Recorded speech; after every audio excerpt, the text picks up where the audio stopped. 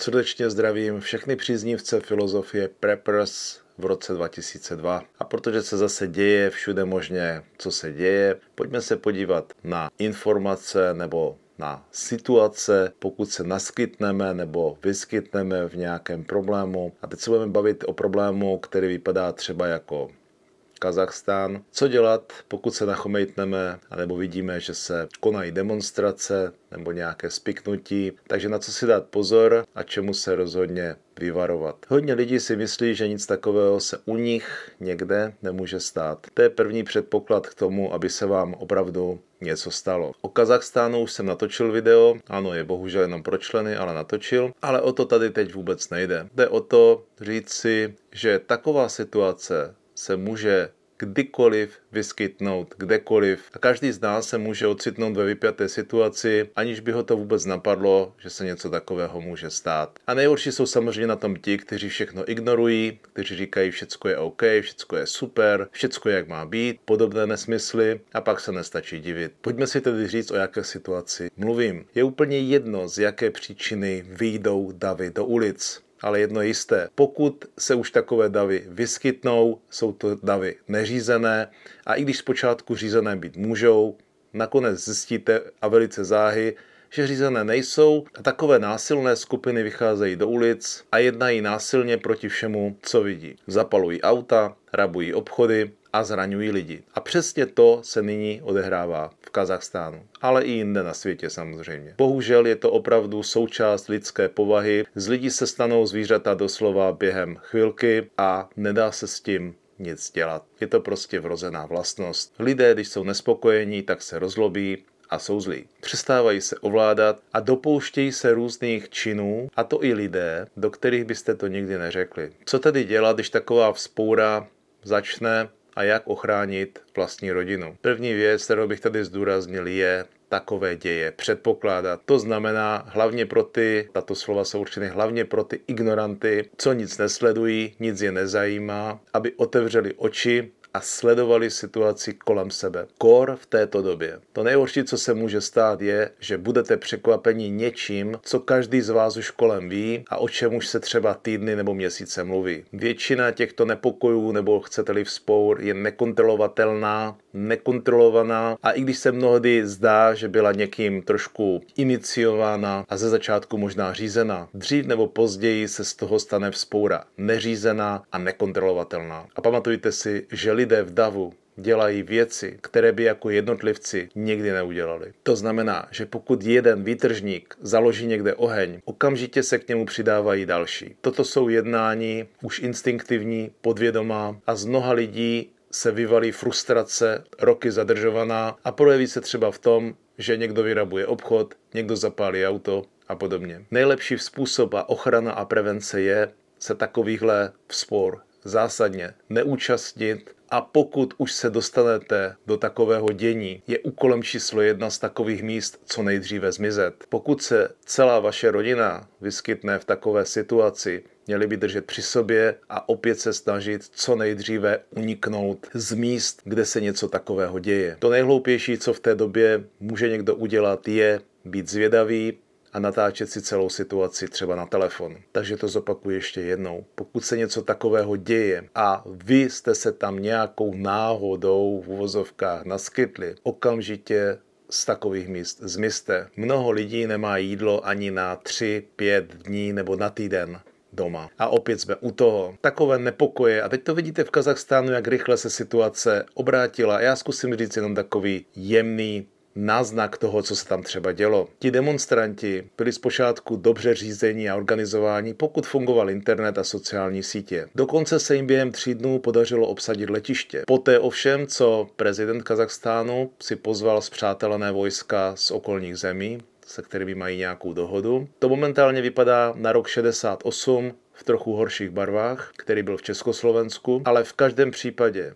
vy máte mít jídlo na dobu, než se situace stabilizuje. Moje osobní rada je mít jídlo a přípravu minimálně na 4 až 6, možná 8 týdnů. Většinou se bude odhrávat přesně tenhle scénář. 3-4 dny od nějaké revoluce se něco semele, jako v tomto případě, a to i přesto, že třeba Ruská federace řekla, že se do toho nebude míchat, tak už tam má svoje výsadkáře a tak dále a tak dále. Už se zatýkají lidé, ano přesně ti, kteří byli na těch demonstracích, nebo kteří tam ještě jsou. A ještě bych rád zdůraznil, že se opět jedná hlavně o města, a víte, co tady vždycky říkám, hlavně nebydlet ve městě a když už tam bydlíte, co nejrychleji se z města někam dostat a tam někde byste měli mít ten ukryt nebo zázemí, ve kterém jste schopni vydržet aspoň ty čtyři týdny. Ignoranti samozřejmě ani neví, o čem teď mluvím a nemají zásoby ani na tři dny. Pokud bydlíte ve městě a už se pakujete někam mimo do svého ukrytu, tak samozřejmě počítám s tím, že máte ty své batůšky naložené a zabalené v nich to, co potřebujete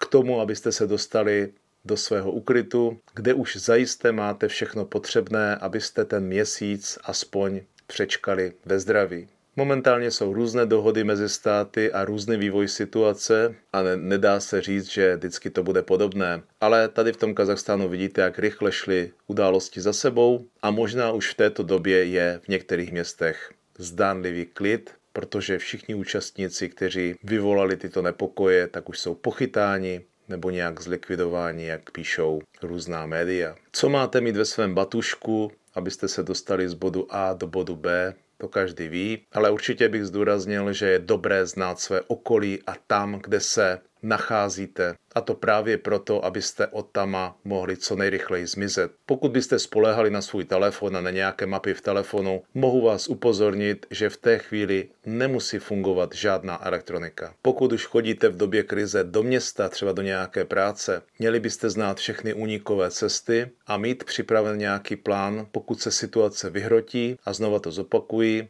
abyste co nejrychleji mohli zmizet z toho města pryč nejlépe s celou rodinou. Jako správní prepři už určitě máte různé základy sebeobrany a jak jsem říkal, zbalené batušky, protože se může lehce stát, že se budete muset doslova probít z toho místa, kde se dějou ty násilnosti, anebo je tam nějaký problém. Pokud jste jednotlivci, můžete použít taktiku, kdy zdánlivě vypadáte jako jedni z těch účastníků a i když předvádíte nějaký herecký výkon, jak něco trošku ničíte a podobně, měli byste hlavně zmizet. To znamená jít minimálně opačným směrem, než jdou všichni ostatní. A znova a znova to řeknu je nutné tyto události hlavně předvídat. A proto, a znova to zopakují, všichni ignoranti, co neustále říkají, že je to nezajímá, to se nemůže stát, jsou to hoaxy a podobně, prosím, nebuďte jedni z těchto lidí. Protože situace i ze zdánlivě klidných zemí, jako je třeba Německo, ukazují na to, co se takovým lidem potom stalo, kteří ignorovali všechny indicie toho, že se něco bude dít.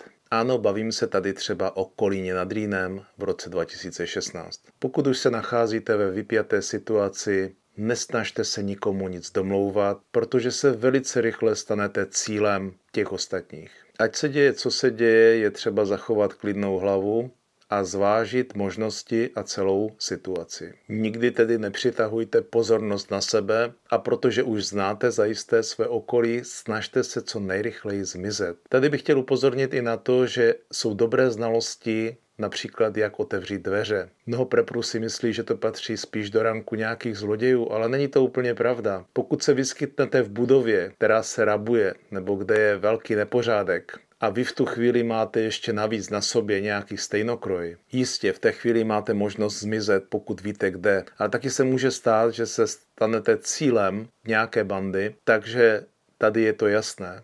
Stát se zase nenápadným, vypadat jako jeden z těch, který tam například rabuje a využít veškerých znalostí a nejbližšíma dveřma, jestli tam nějaké budou poblíž nebo nějaké únikové východy, zmizet z těchto prostor. A tady se vám může opravdu hodit to, že budete umět otevřít třeba nějaký zámek a hlavně znalost okolí a toho místa, kde se nacházíte. V dalším díle si řekneme něco o domácí izolaci a jak se z toho nezbláznit a proč je dobré v dnešní době být v domácí izolaci takové dobrovolné. Ono je totiž velice těžké, i když nejste v klasickém vězení, vytvořit si vlastní izolaci a přežít delší dobu sám nebo se stejnými lidmi ve zdraví. Představte si ovšem situaci ve chvíli, kdy tyto demonstrace nebo vzpoury začnou třeba ve městě a vy budete muset nuceni strávit třeba dva měsíce v nějakém krytu, který máte zařízený a vybavený uprostřed města.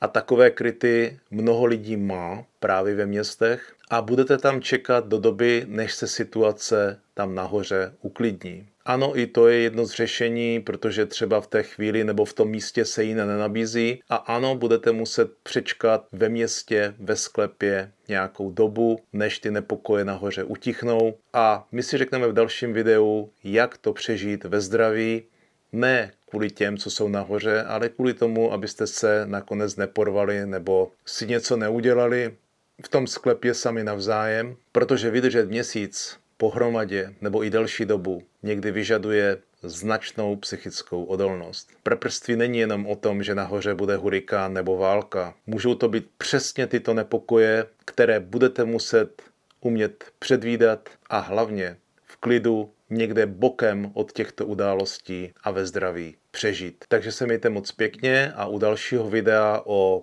nucené domácí izolaci opět naschledanou.